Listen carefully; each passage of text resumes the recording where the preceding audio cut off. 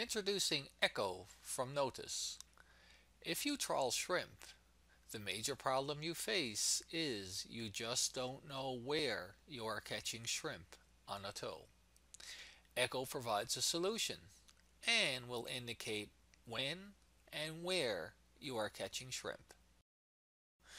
The system works off an important discovery by Effective Fishing Solutions. Shrimp make a sound when they hit the grate or grid. The following video will demonstrate this. Please turn up the volume now.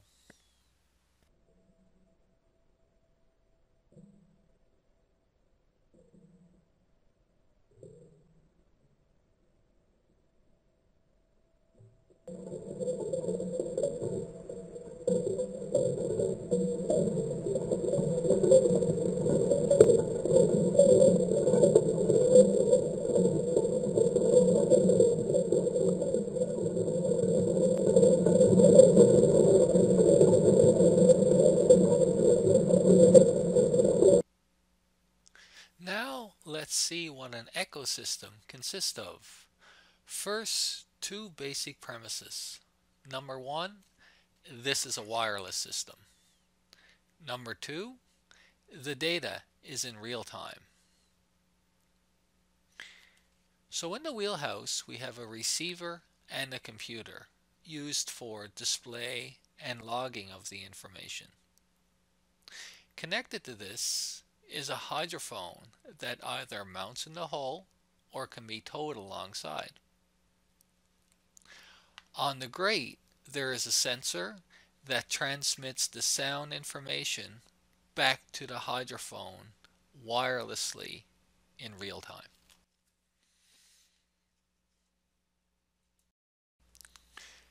Now let's look at the setup on the grate in more detail.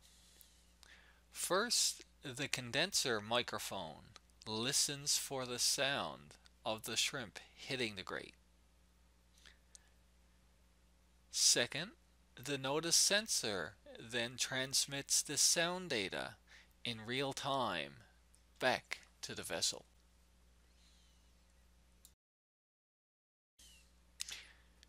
The onboard research and development was completed on the shrimp vessel FV Pacific Dove out of Westport, Washington, USA.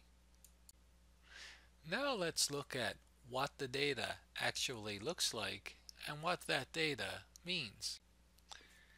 Data is displayed in a numeric format and as a graph over time. For example, on this log, the sound is currently 7.2. Now if we look at this area of the graph, we can see that the sound was roughly around 1, 1.3, which would equate to about 500 pounds per hour.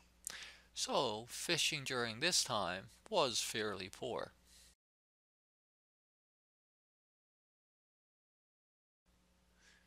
Now in this area of the graph, we see an average of 6 and up to 7 for the sound data, which equates to about 3,000 pounds per hour. So fishing was much better during this part of the tow.